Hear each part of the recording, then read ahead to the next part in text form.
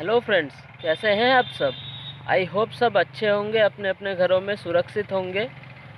तो आज का जो वीडियो है, वो वीडियो है ट्वेंटी फ़र्स्ट फेबररी मातृभाषा दिवस के दिन।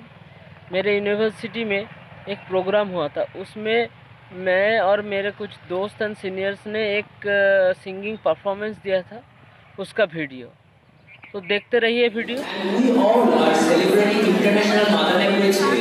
Declared by UNESCO. But why only 21st February, but not any other day of the year?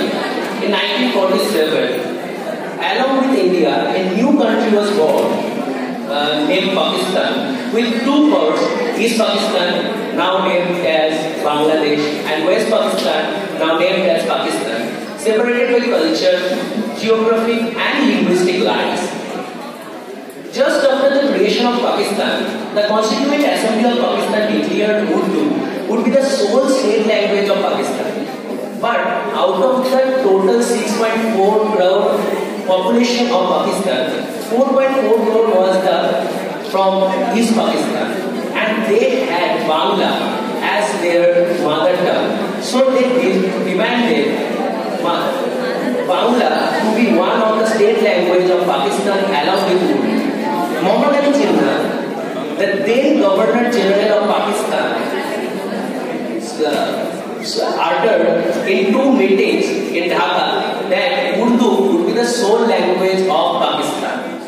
Then the students from Dhaka decided to organize a procession on 21st February 1952. Government imposed section 144 and on 21st February, student assembled in Dhaka University while the armed forces awaited outside the gate of Dhaka University. Students started the agitation by uttering the slogan Rashtra Bhasha Bangla Chai. Police first did the lathi charge and being unable to control the control, they started open firing on the students, resulting in several deaths.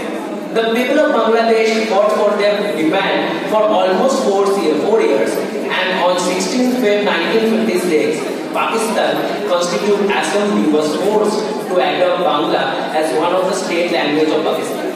This language movement catalyzed the Bangladesh Liberation War also. Bangladesh is the first nation to be named after her state language Bangla. Here we have our very own Trisha from Bangladesh. And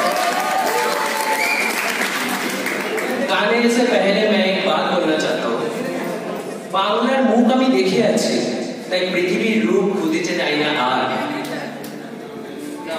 We have to